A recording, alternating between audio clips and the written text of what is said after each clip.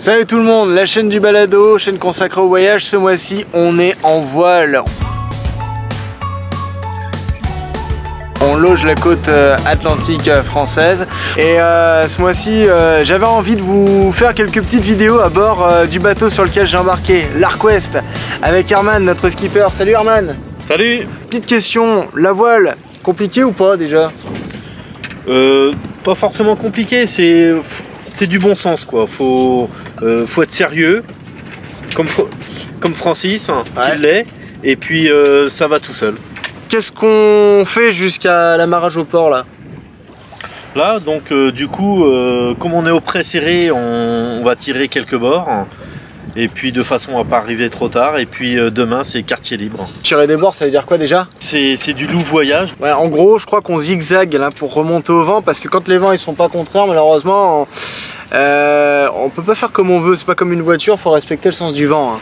Voilà, on est obligé de garder un angle hein, par rapport au vent, donc euh, de façon avancée. Bon, je vous montre un peu comment euh, elle est la, voile et la grande voile et le Genoa là.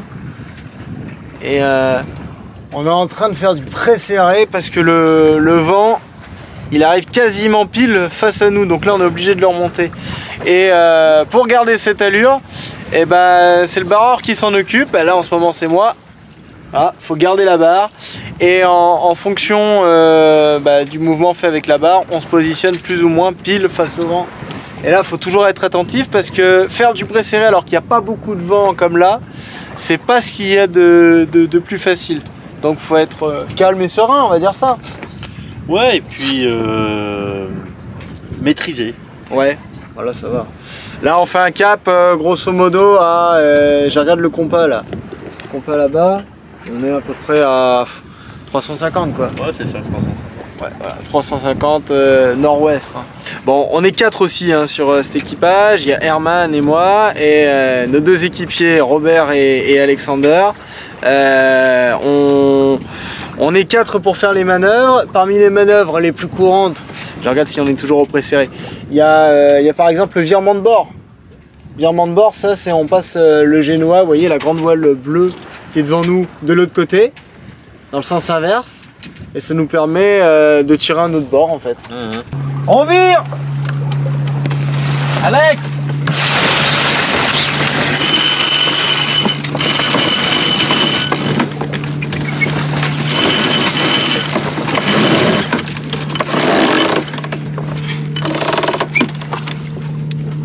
c'est mou, c'est mou.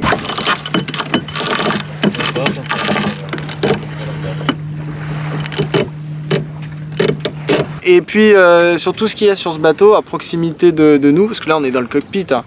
euh, la partie où on dirige le bateau, euh, il y a ces petites ces petites roues là qu'on appelle des winches. Alors winch qu'est-ce que c'est au fait? Winch, eh ben euh, c'est un appareil, c'est pour, euh, pour border euh, les écoutes. Hein. Ouais, les écoutes, c'est les. Faut pas le dire, mais c'est les, cordes, c'est ça on dit, ouais, dit pas des cordes. Je t'ai vexé, je t'ai vexé. ouais, mais fallait bien que je le dise une fois. Bon, bref, pour border l'écoute, ouais, il faut utiliser un winch et, en fait, t'as as, plus de force avec un winch. Ça démultiplie la force, quoi. À la main, on pourrait pas le faire, quoi. Voilà ce qu'on pouvait dire là pour l'instant sur, euh, euh, sur ce bateau là, euh, sur l'Arc West. C'est vrai qu'il vire bien ce bateau, Charles.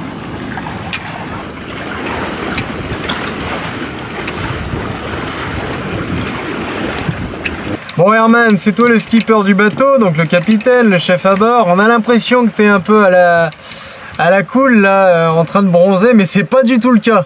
Bien sûr que non, c'est pas le cas. Vas-y, parle bien fort. Explique-moi. Bien sûr que non, ce n'est pas le cas. Là, je suis en mode veille.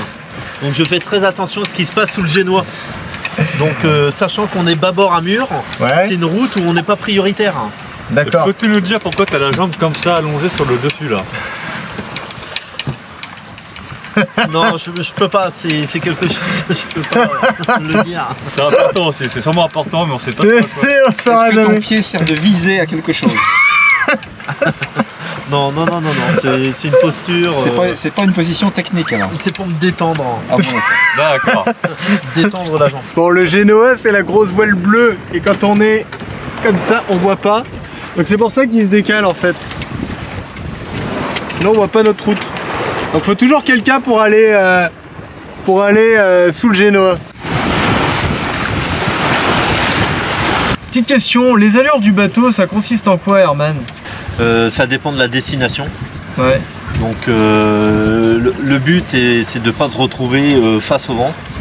Ah, on, était pas mal en préserré, nous. Hein. Ouais, on a fait pas mal de serrés. hein. Il y a le bon plein, il y a le travers, hein. puis après on part sur le portant, Ouais. grand largue. Comment tu peux le savoir à quelle allure euh, t'es? Parce que là on serre le vent, donc euh, on, a la girouette. hein. Donc euh, c'est un bon indicateur bah, qui donne la direction du vent. Donc là on sait qu'on fait du près serré. Bah, naviguer sans girouette, après faut, faut sentir d'où vient le vent et puis après pour des personnes débutantes, on leur dit de serrer le vent sans girouette, ça va être difficile quoi.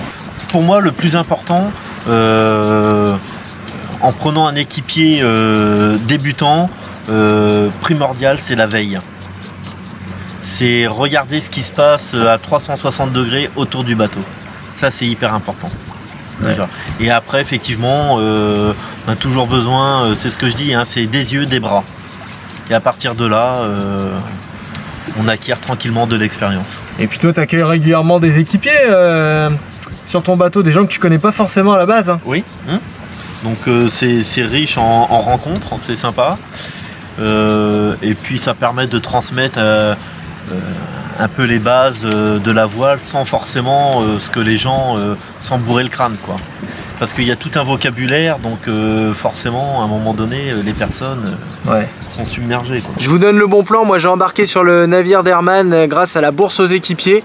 Euh, vous tapez bourse aux équipiers, le premier site venu et ça marche nickel. C'est gratuit. Euh, je vous mets les infos dans la description.